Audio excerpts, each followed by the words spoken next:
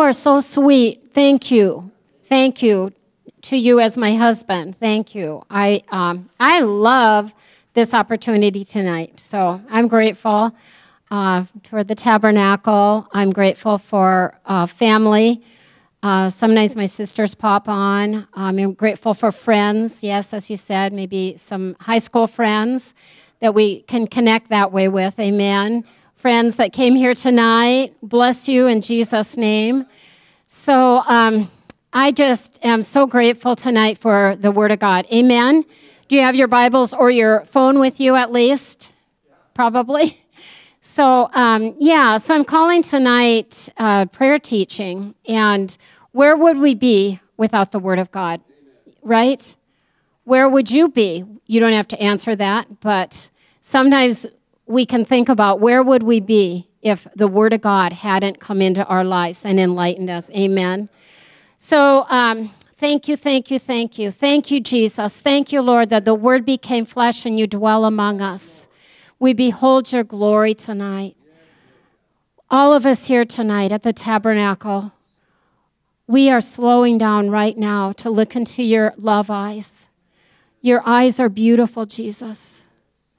And we want to tell you tonight from the tabernacle, we love you. Can you tell the Lord tonight that you love him? We love you, Lord. We love you, Jesus.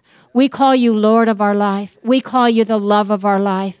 And tonight, as the Spirit just um, will move here tonight in different ways, I just want everyone to cast your care right now on the Lord. Thank you, Lord. The Word of God says, Cast all your care on the Lord, for He cares for you. You're a caring God, you're a loving God. And uh, just let go of the burdens of the day. Um, can we all let go tonight? Let go, let go of disappointments, right? Let's just face that life isn't probably right now what we thought it would be, is it? Let go of it. Let it go. Thank you, Lord. Give it to the Lord.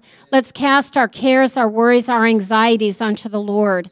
Thank you, Lord. We cast our, our children, our grandchildren, all the relationships that we have. We cast the love of our families on you, Lord, knowing that we love them, but Lord, how much you love them. Thank you, Lord. Your love is great. Thank you, Lord. You're moving tonight in wonderful ways. And Lord, we receive your word. Lord, we're always in a win win situation when we can share the word of God. Thank you for the word. We pray in Jesus' name. Can you all shout amen? Amen. Sometimes we like to shout, sometimes we like to uh, just encourage the speaker up here. Shout amen. Amen. Okay. So, um, anyway, what's on my heart is Psalm 112, like I already said, but I, I was thinking about um, what God has done in our lives what God has done in each one of your lives. And um, let's see, I brought a few pictures. Uh, first of all, I put one of the pictures up on um, on Facebook. Yeah. So this is 1971. I have no idea why I have that T-shirt on, but anyway, that was what I was doing that day. So I'm somebody's big brother. And um, but you know, I said on Facebook, I said I was smiling in that picture, but I was really um, just troubled and worried and frail and searching. And um, so I remember being in the hallway, and you can go to the next picture. These I'm not going to linger on, but the next picture, yeah. So uh, that was Matthew's Hall, room 359.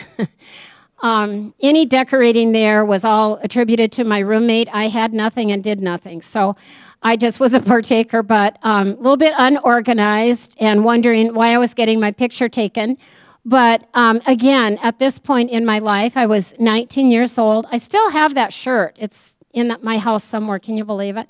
SDSU. And, um, but I was at a place where I did not, I was not born again. And I had a roommate, and um, I want to say this was the other picture of me was October, and um, it was three months after that that the power of the Word of God came into my life. Now, tonight, as the power of the Word of God comes into our li- lives, it, we're illuminated. All of a sudden, we can see clearer.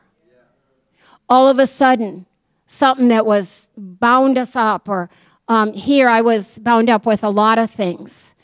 But you can go to the next picture. This is Gordon Brown. He's in heaven. so we will see him in heaven. And uh, shortly after those pictures that I just showed, I went to a Christian coffee house in Pierre, South Dakota. And um, I could no longer go other places. They were too dark. I couldn't handle it. And I just thought, I've, I've got to find peace. I've got to find what my purpose is in life. And Gordon Brown found me um, in the coffee house, and he came over to me, and he said one, especially one word that changed my life. And he visited with me a little bit, but he said, Have you ever personally, can we all say that word out loud? Personally. God is a personal God, He's a one on one, He's intimate. And I'd never heard that word before. He said, Have you ever personally asked Jesus to come into your life and be your friend. I said, I had no idea. He said, I knelt down like a very good Catholic. I don't really remember that. But I knelt down and I prayed. He said, Jeannie, it's as simple as ABC. Admit you're a sinner, believe on the Lord Jesus Christ, and confess in your heart that God has raised him from the dead. You shall be saved. Well, that is definitely what happened that night. And then over the years, we were able to visit with Gordon Brown, and um, he had a glorious homecoming, and he's in heaven rejoicing. Was that all I had? Let's see. Oh, there's one more, right? Yeah. So I want to, this is an inside cover of one of the Bibles, and I'm not going to read all those, but um, it talks about Psalm 84 11, and that God is a covenant God. And I'm not going to read it from there, but I'm going to say what I say because it's the Word of God that changes us. The Bible up there it says, "No good thing." Can we can we all say no good thing? No good thing will God withhold to those who walk uprightly. I mean, that is powerful right there. No good thing does the Lord withhold to those who walk, say it, uprightly. Well, we're upright because Jesus is in us. Amen. And then I just over the years I the cover is torn, and all of you probably have a Bible like this too, don't you? That you wrote in, you remembered, you wrote a date, and you went back and you were you encouraged yourself in the Lord. Amen. And these are some of the things I wrote, and um, we'll talk about some of these tonight. But um, here's some of the good things and joy and salvation and freedom and uh, fertility. Amen. Um, fortune, inheritance, abundance, riches. So um, I just wanted to pop that up there and um, just declare publicly uh, what the Lord does in people's lives. And it's all through the Word of God. I guess I didn't bring my great big heavy Bible to hold out and say, This is my Bible. I am what it says I am. But um, are you appreciating the Bible tonight? Yeah. Did you, anyone here today, get a word from God today? Yeah, I saw hands go up uh, we need daily manna. We need, we need life. And uh, the Lord says that um, it's every day. Man shall not live by bread alone. We sure like our muffins and our bread, but man shall not live, you say it with me, by bread alone, but by every word that proceeds from the mouth of the Father. So tonight you will be blessed by a psalm that I have really loved for years. And as I looked at it, I just thought of, just like that cover in there, I just thought of different benefits that came just from one psalm. And this is Psalm 12, 112. And we're going to read it together up here. You guys can read it there. I'm going to read it from my notes here. But let's all read it out loud and um, read it with authority. Amen. Um, read it like you believe it. Amen. Psalm 112, verse 1. Praise the Lord. Hallelujah. Blessed, happy, fortunate to be envied is the man who fears, reveres, and worships the Lord. Hallelujah. Who delights greatly in his commandments. There's 10 verses here. Verse 2. His spiritual offspring shall be mighty on the earth. The generation of the upright, say it. Uh, verse 3 prosperity, say it. His righteousness endures forever. Claim this one tonight. Light rises in the darkness for the upright, gracious, compassionate, and just who are in right standing with God. It is well. Can we say those three words two more times? It is well. One more time. With the man who deals generously and lends, who conducts his affairs with justice. He will not be moved forever. Keep reading. Mm hmm. Yeah. Mm hmm. Seven. He shall not be afraid of evil. Hallelujah. His heart is fixed, firmly fixed, trusting, leaning, confident in the Lord. Eight. His heart is established and steady. Amen. He will not be afraid while he waits to see the desire established on his adversaries. I like to think of that as spiritual adversaries. Amen. Because we have one enemy, and it's the devil. Um, please note in verse 7 and in 8, it's um, both of those say that uh, we're not going to be afraid. Amen. We're not afraid. We are not afraid. We will not fear. We will not be afraid of evil tidings. Verse 9, go ahead. He has distributed Yes. Yes. Hallelujah. Yes. Yes, honor. The wicked man will see it and be grieved and angry. He'll gnash his teeth and disappear in despair. The desire of the wicked shall perish and come to nothing. Again, I like to think of verse 10 as the devils and the demons rather than human beings, but, um, but anyway, um, there there will be a payment. Uh, so, wow, isn't that a beautiful psalm? This is a prayer teaching tonight, and as I've gone through this, wow, I love the Word of God. you know, with the Word of God, we can declare things like this.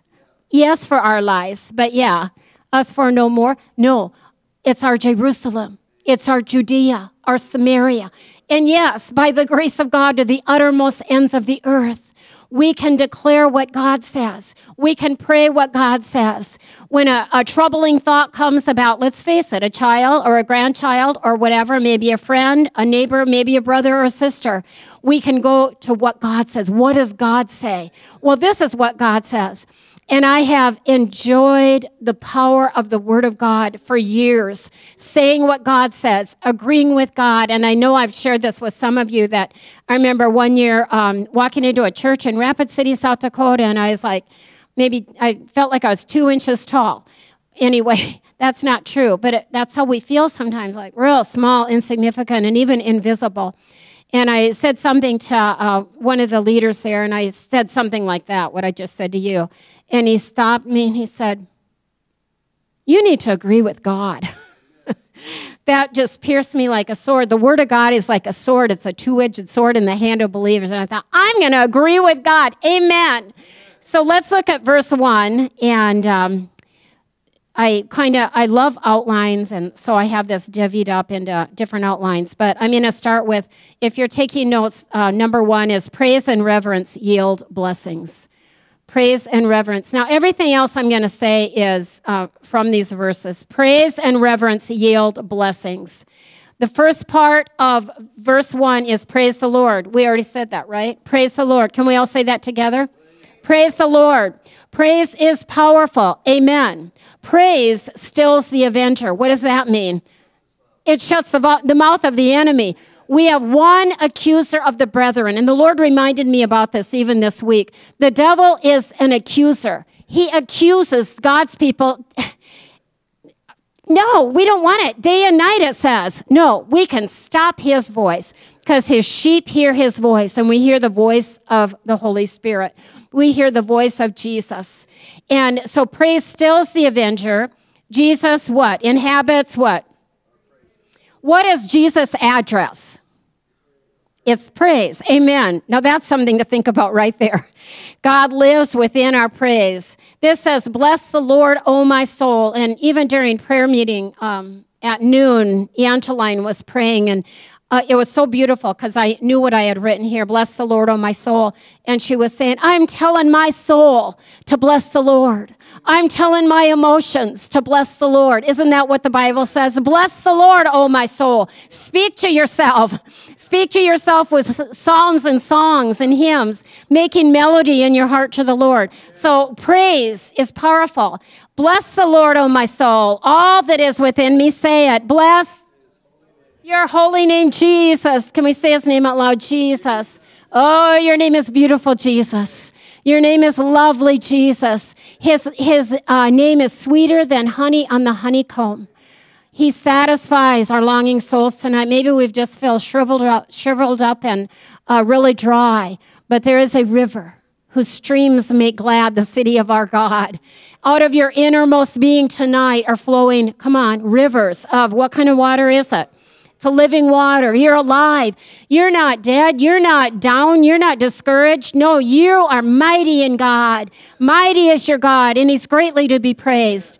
And uh, these are just a few things I wrote about that first phrase there praise the Lord. At all times, say it with me if you know it. At all times, I will, His praise will continually be in my mouth. Are we living that? Talk to me. Talk to me. Are we living are we living that? His praise will continually be on my mouth. Just create that atmosphere of praise. And I, I want to say I've been so encouraged by this. Watch God work. Watch God work. He is the God of the possible. Yeah, amen. Well, let's move on to um, the second phrase Blessed, Blessed is the one who reveres the Lord and worships the Lord. Amen. Let's see, is there more? Worships the Lord. Uh, Blessed is the one who reveres and worships the Lord, who delights, well, this is beautiful, delights what? Greatly in his commandments. Um, to be blessed, I'm going to talk about that phrase. To be blessed means happy are the people whose God is the Lord.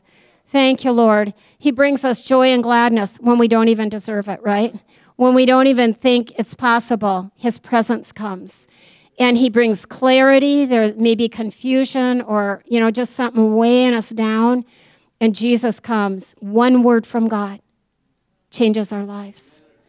Hallelujah. Thank you, Lord. Happy are the people whose God is the Lord. Um, that's all I wrote about that. Verse 2, let's see. Is that? Oh, no, I did write some more. Yeah. Um, happy is the man who respects and worships the Lord. Fortunate can we all say fortunate? Prosperous, in favored of the Lord. Um, for let's see, when we uh, oh, and we sang it tonight. When we stand amazed at Jesus. Thank you, Lord. Fortunate. Thank you, Lord. Prosperous. He paid a debt he did not owe. I owed a debt I could not pay. I needed someone to wash my sins away. But now we sing a brand new song, Amazing Grace. Christ Jesus paid a debt that I could never pay. Uh, the last part of that verse Blessed is the one, I love this part, who delights greatly in his commandments. Well, to me, that says, Blessed, you're blessed because you love the Bible. You are blessed because you love what God says. You are blessed because the living word is within your spirit and you represent Jesus everywhere you go. Thy word have I hid in my heart. Do you know it? That I might not sin against thee. Amen. We love the Bible. We greatly delight in his commandments. Loving the word of God and allowing his power and his word to change us brings glory. We carry his glory. We walk in his glory. The word lights up our path. Psalm 119, 105. The word is a lamp unto your feet. Do you need direction tonight? We all we all need direction all the time, don't we? Every day. The word is a lamp unto my feet, it's a light unto my path. Um, I love verse or Proverbs 6, verse 20 through 24. If anyone wants these scriptures afterwards, I have a, a handout I'd be happy to give you. But uh, Proverbs 6, verse 24, basically, in summary, it says, The word of God will guide you when you walk, the word of God watches over you when you sleep. Thank you, Lord. I pray tonight for anyone who has trouble sleeping at night um, that the Word of God, it says in Proverbs 6 20 through 24, the Word of God watches over you while you sleep. Amen. Thank you, Jesus. We lay down in peace and sleep. For you, O Lord, cause us to dwell in safety. Thank you, Lord, for uh, peace and sweet sleep. Um, when you wake up, the Word of God will speak to you. Amen. Thank you, Lord. Okay, so the next verses, two and so on, are all based on uh, really off of verse one that blessed, happy, happy, fortunate, and to be envied is the man who loves the Word of God. Amen. Okay, let's go to verse 2. Generational blessings. Can we all uh, repeat that? Generational blessings. Now, as we um, look at these in a little more detail, think about who they would apply for in uh, maybe in a, a loved one's life or a family member. These are generational blessings. I think all of us know each other well enough to know that uh, generational curses have been broken off of our life. We're certainly not the people we used to be, but no, you are raised up in newness of life.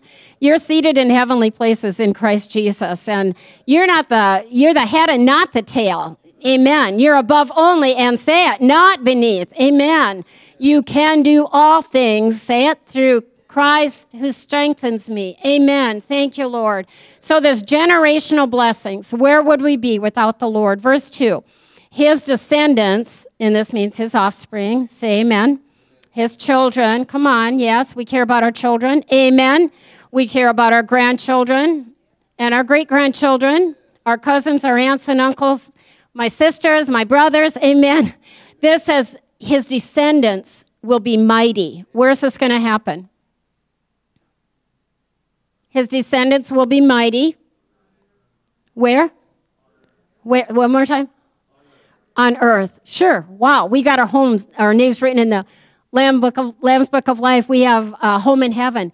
But this says his descendants will be mighty on earth. Can we say that out loud together? Mighty on earth. One more time. Mighty on earth the generation, the children of the upright, everyone has family here, we all have family, it says, will be blessed. Our offspring will be mighty.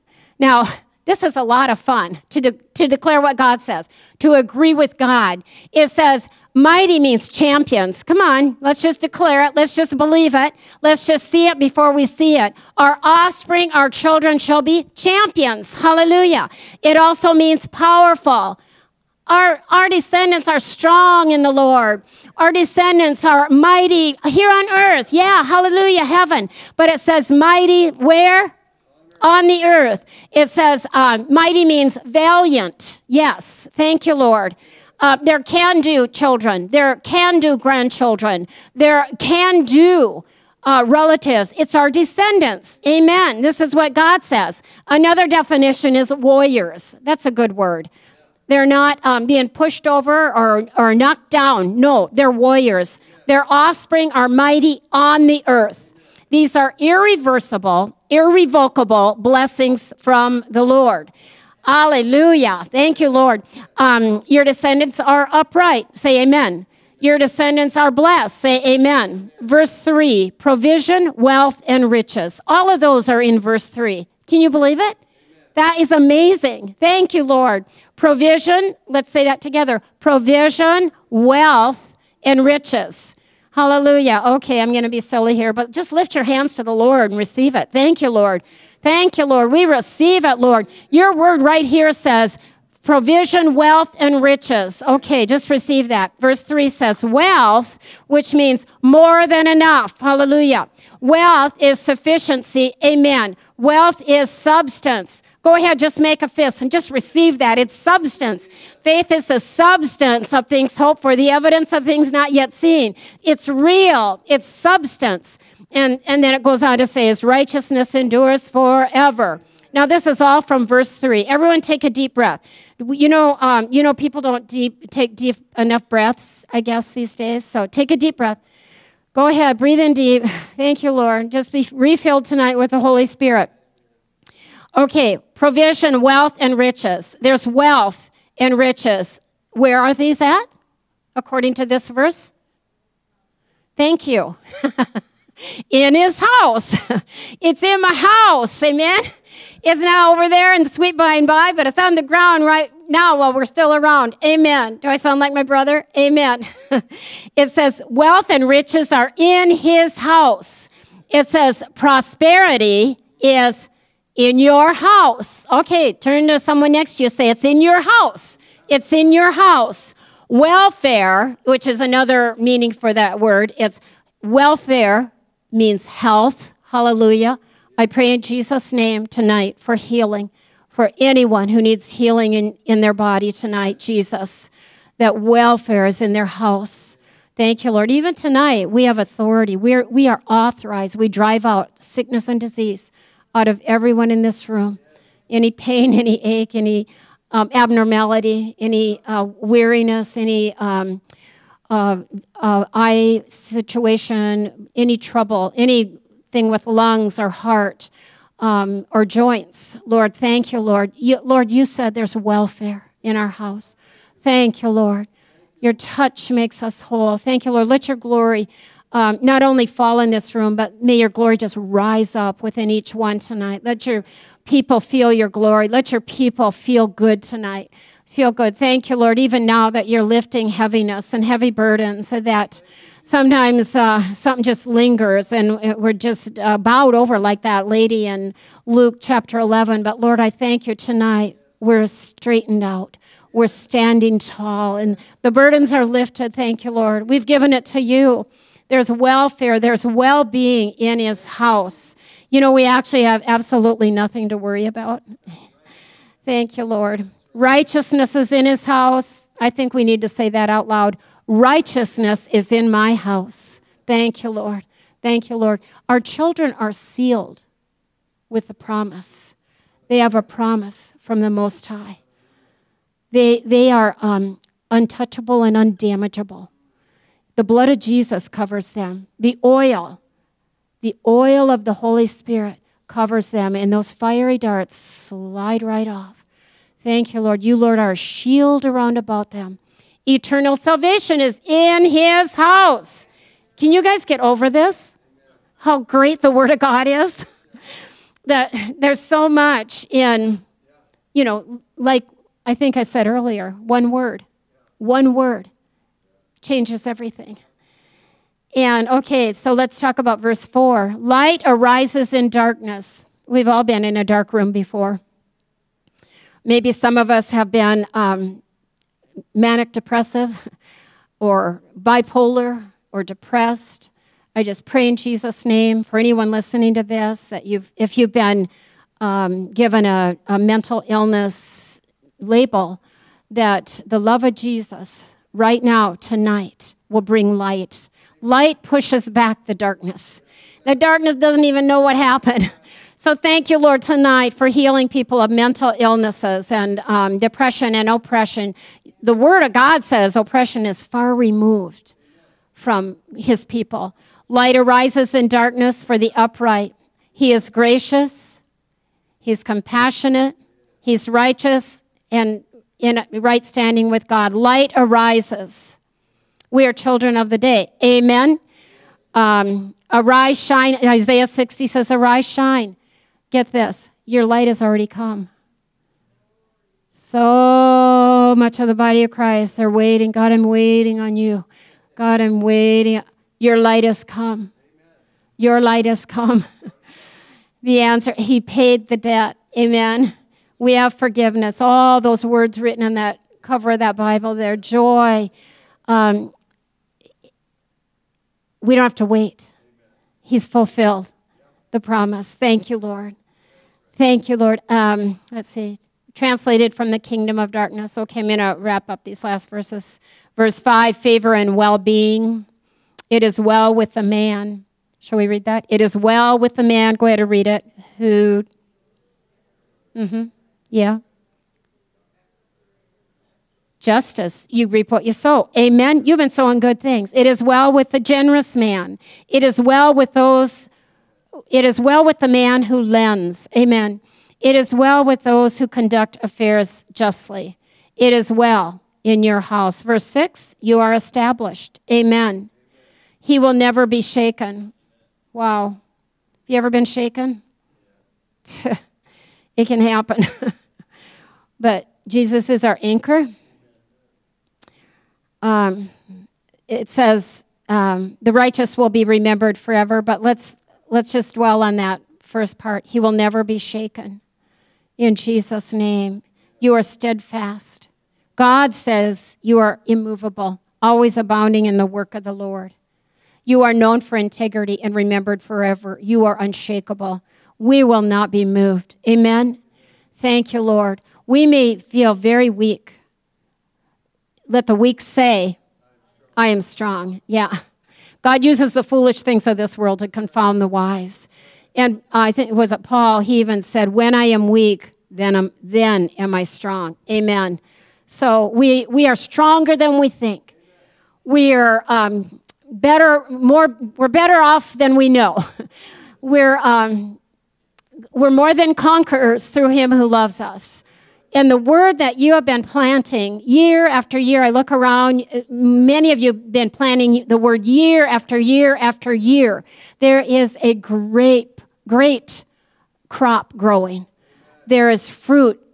Um, the Holy Spirit is working, and the seeds are being watered. Just expect suddenlies to come. Expect phone calls that will just thrill you and knock your socks off. Um, we're in a season of surprises. Lastly, uh, the last couple verses peace rules always, verse 7. This is so good. He will not be afraid of bad news. Amen. We had a phone call. Someone says this, someone says that. What does it say there? Verse 7. He will not say it. Read it. He shall not be afraid of evil tidings. What, what is it? I think somebody here got this uh, regarding a, a heart situation, and they claim this verse His heart is fixed.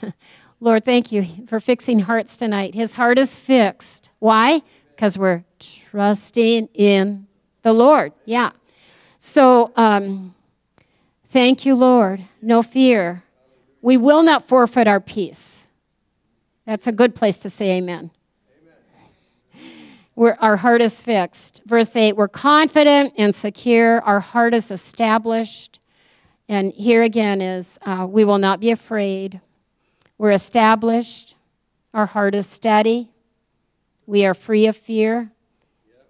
And I also see in this verse where we're patient. Amen. We're patiently living our life every day. Verse 9, we're generous and prosperous. Amen. Say amen to that. He has given freely to the poor. We want to be givers. His righteousness endures forever, and his horn will be exalted in honor. There's something in that teaching about the horn, but I, I didn't get a chance to um, find out, to reread that and find out more about that. But um, something about the horn of honor generous, d- distributes freely to the poor. You know, I have a um, whole list here of how to wrap up verse 9. Your testimony is consistent. And uh, lastly, verse 10, I called this the life of victory, verse 10. And uh, let's just look at this again as um, that we have one enemy, the devil. I don't want anyone here tonight thinking like, yeah, I, I want to get those guys, those bad guys, get them good, God. no, love never fails. So, so a life of victory. The wicked will uh, see it and be angered, uh, and he'll gnash his teeth. Well, that's going to happen. Melt away in despair. The wicked, um, let's see, the desire of the wicked will perish and come to nothing. And I just close this by saying the enemy is defeated the kingdom of God has come, and this is the victory that overcomes even your faith. So, wow, it's just amazing um, that we can give a prayer teaching, you know, on one psalm and uh, just study to show yourself. You know, this is an interesting verse here. You know, we go study to share, show yourself approved unto God. It, but it also says to show yourself. Let, let you know it. That uh, you're approved. Study to show yourself approved unto God, rightly dividing the word of God. So, but anyway, so let's take a step closer, and I, I want to just partake of more, more of uh, the benefits that are from the word of God. And um, be changed from glory to glory. We can be, like the pictures I showed at the beginning, we can be a, a person who could never speak a word, we could never say anything out loud, and uh, just totally full of fear.